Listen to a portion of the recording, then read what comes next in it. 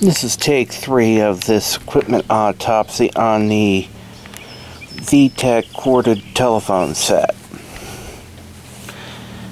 This assembly was done during take two and after having trouble with some issues with the audio decided I needed to reshoot it. This is the base this is the main circuit board and the base. On this end you have the line cord coming in and the piezo buzzer for the speaker. The battery compartment for the enhanced features of the telephone set that are not line powered. And the main base board. Telephone line tip and ring which I guess are correct since it would be reversed in a line cord. Fuse in a tip, which I don't like. There should be one ring as well. And then tip and ring going out to the handset where I assume it also reverses. Alright, I've reverse engineered this circuit off camera here tip and ring comes in, goes through the fuse, connects to the MOV, and goes out to the handset for normal telephone operation. Ringing is handled by the circuitry on this board. Tip, excuse me, ring goes directly to the bridge rectifier.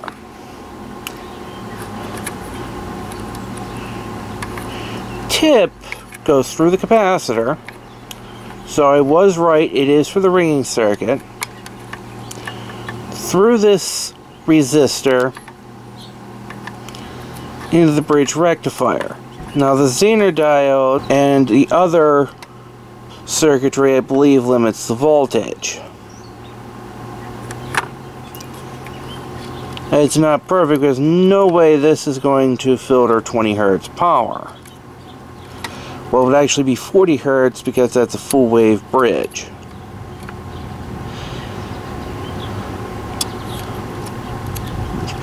I didn't check where the Zeners were. That may it may be enough. This IC here is controlled by this switch.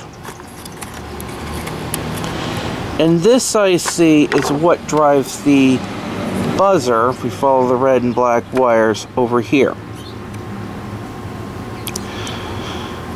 Now, as I suspected earlier, yes, tip and ring do reverse in the handset cord. Since that is the standard. So even though it's hardwired on one end, it still actually follows the standard. Amazingly enough. The handset for this telephone was amazingly difficult to disassemble. And that's why I didn't reassemble between takes two and three. This is the actual hook switch assembly, which I dinged up thinking maybe it was hiding a screw. No, just some nasty clips in the plastic. Now we take a look here and there's not much on this board.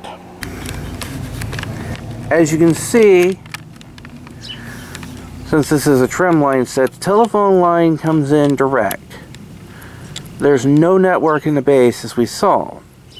The only thing the base handles is the ringing.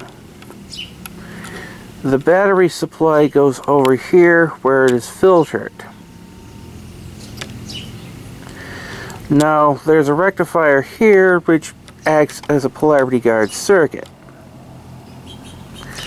And I assume these capacitors may pass the talking and caller ID information back and forth to, forth on the line. And I assume that Zener may work to limit voltage as this will power the internal circuitry off the line when the phone is off hook and only uses the batteries when the phone is on hook. Over here you also see the output to the transmitter.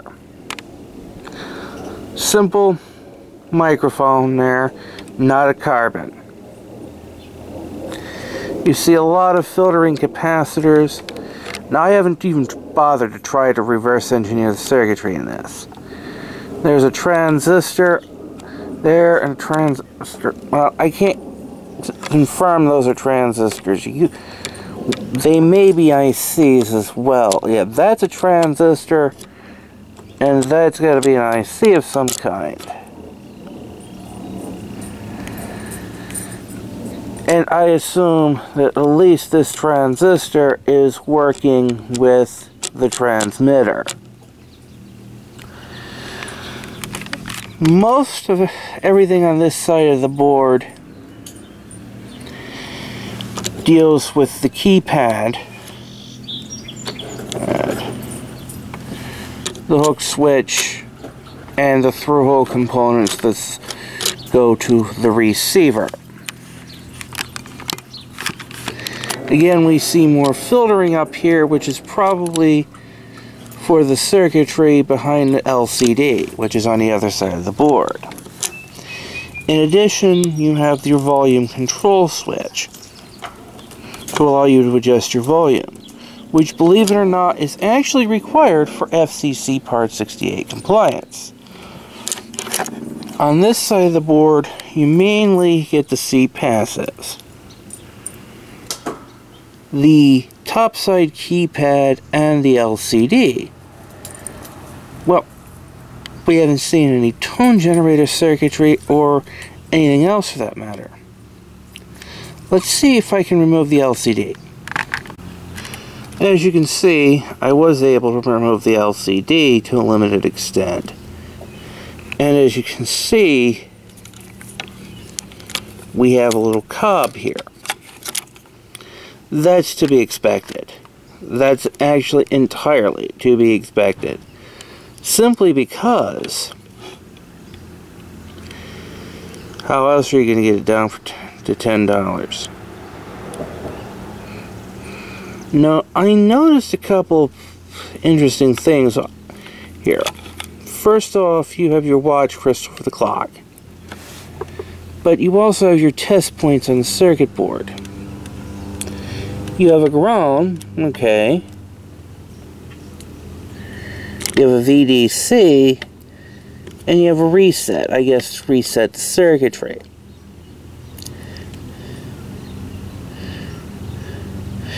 So there's not much inside these modern phones. And that's honestly to be expected. As to what failed to cause me to do this, I honestly don't know.